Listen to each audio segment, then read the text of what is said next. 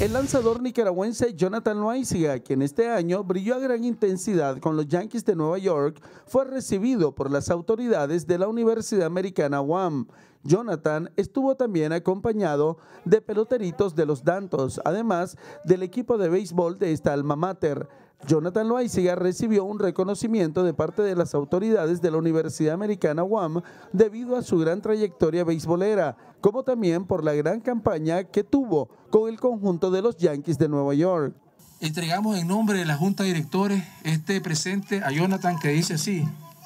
la Universidad Americana otorga el presente reconocimiento a Jonathan Loaiziga Estrada por ser un orgullo nacional y digno ejemplo para la juventud nicaragüense al destacarse durante la temporada 2021 como uno de los mejores lanzadores del todo Major League Baseball, dado en Managua el día 27 de octubre de 2021, Junta de Directores, Universidad Americana, UAN. Primeramente le doy gracias a Dios por la oportunidad de estar aquí, al licenciado y a toda la universidad por, por tomar, tomarme en cuenta y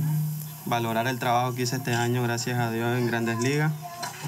Y me siento muy contento de, poder estar aquí, compartir con los niños, que me da mucha alegría ver muchos niños que practican el béisbol. Y lo único que les puedo decir es que